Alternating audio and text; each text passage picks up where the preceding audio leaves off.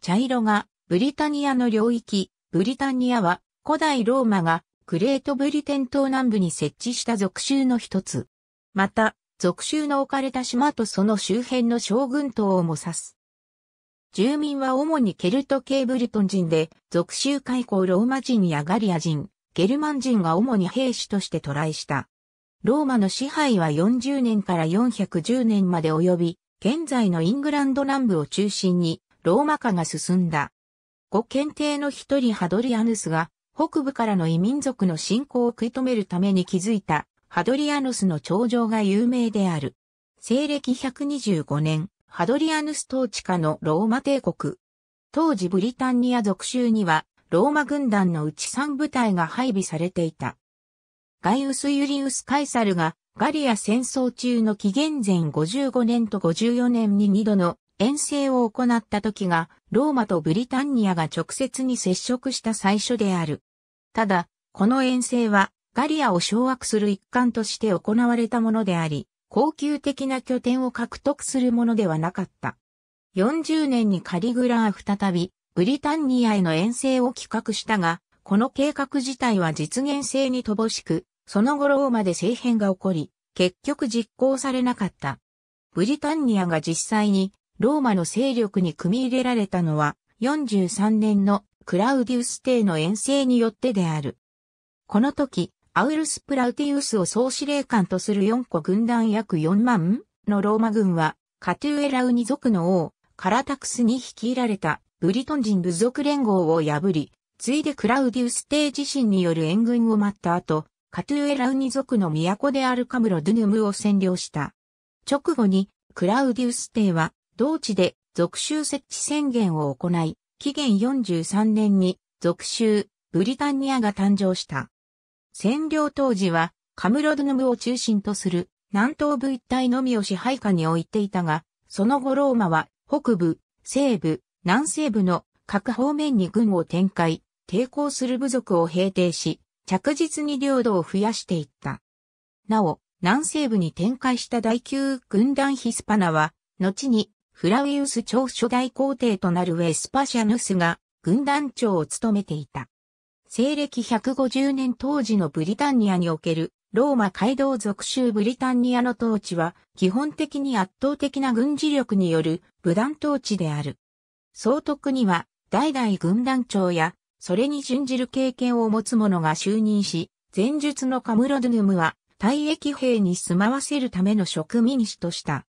各軍団は時代により移動があるもののコーンウォール地方のイスカ・ドゥムノニオルム、ウェールズ南部のイスカ・シルルム、ノーサンブリアのエボラクム、ウェールズ北部のレワにそれぞれ正規軍団要塞を構え、各方面の辺境を守備するとともに、属州領内部を監視した。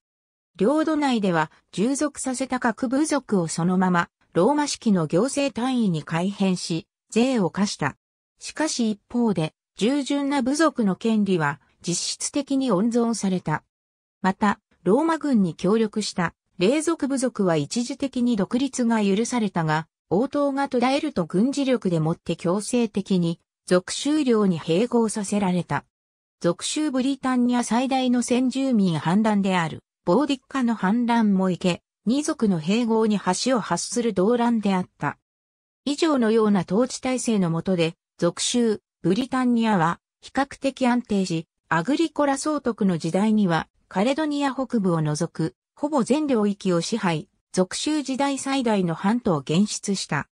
しかしそれ以降は、北部のスコット族からの圧力が強まり、後検定時代には、北方前線が交代するとともに、ハドリアヌスの頂上、アントニヌスの頂上が築かれた。補助軍の基地の一つ、ビンドラン大石には、当時の守備兵の風俗を伝える大量の木簡文書が発見されている。